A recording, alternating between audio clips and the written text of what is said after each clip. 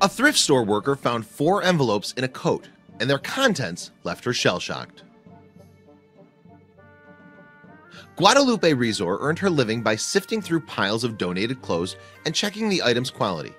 In 2017, though, Rizor discovered something unusual while going about her daily business. Something that stunned her, in fact. And when the thrift store employee alerted her manager to the find, she too couldn't quite believe it. Rezor comes from Garland, Texas, and works at a thrift store in nearby Richardson. This shop is run by the Jewish Family Service of Greater Dallas, an endeavor that its website describes as a mental health and social services agency, and one that's been helping the local community for over 65 years. And the organization uses its thrift store to help subsidize the services it provides. In order to do this, however, it relies on contributions from individuals and businesses that it can then sell on to the wider public. Indeed, a motto on the Jewish Family Service of Greater Dallas website states, when you give good stuff, we can do great things. Rezor's job at the store, meanwhile, was hardly glamorous. It was, however, important.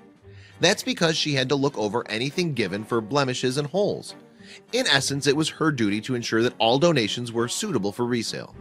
So Rezor spent her working day in the back room of the store checking through piles of clothes. And although every item that passed through her hands was different, it's easy to imagine that her job was monotonous. That is until one day in 2017, as that's when Rezor would make a stunning discovery. It all began when the store worker was looking over a donated item. The garment in question was a smart black peacoat and could quite possibly have earned the organization some vital funds. Naturally then, as normal, Rezor got to work on inspecting it to see if it was worthy of being sold. In December 2017, Rezor would tell Dallas-based ABC affiliate WFAA, I closed the coat and I checked a pocket. She then moved on to the other pocket and that's when she would make her flabbergasting finding. I checked the pocket here and this was full of money, Rezor revealed. More specifically, she had stumbled across four envelopes, each of which turned out to be packed full of cash.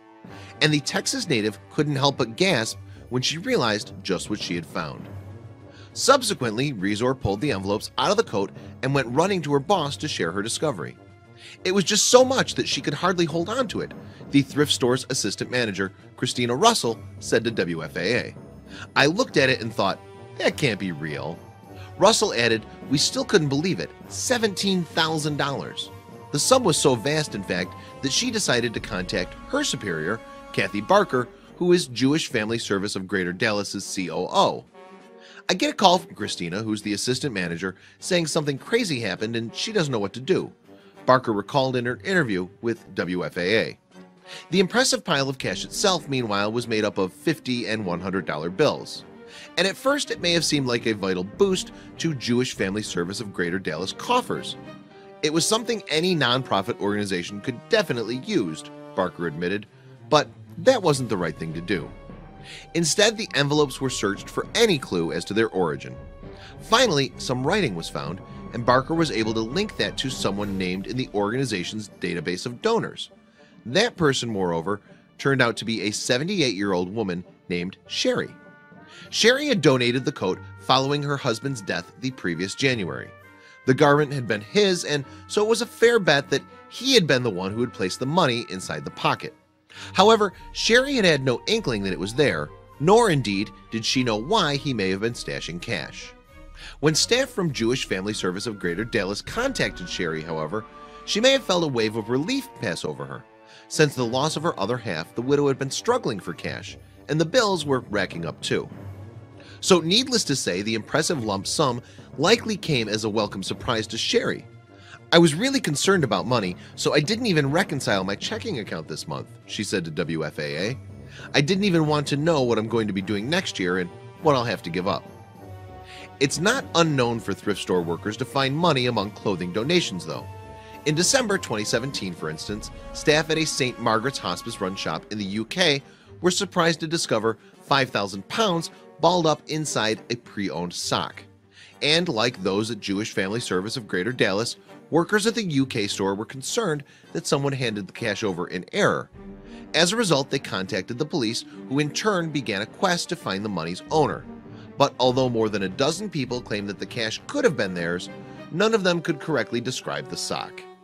So what did authorities do with that non-inconsiderable sum? Well, in December 2017, police constable Paul Thomas told Metro, because we were unable to trace the rightful owner, the money has now gone to the hospice, he added. It's a wonderful result. By contrast, Jewish Family Service of Greater Dallas returned every penny of the $17,050 to its rightful owner. Now, Sherry didn't have to worry so much about finding the money to pay her bills. And although the funds would have come in handy for the organization, that was undoubtedly the correct thing to do. However, Rezor's Good Deed didn't go unrewarded. In exchange for finding and returning the money, Sherry gifted her $1,000. In fact, it turns out that honesty really was the best policy for everyone in the end. Please share this story with your friends below.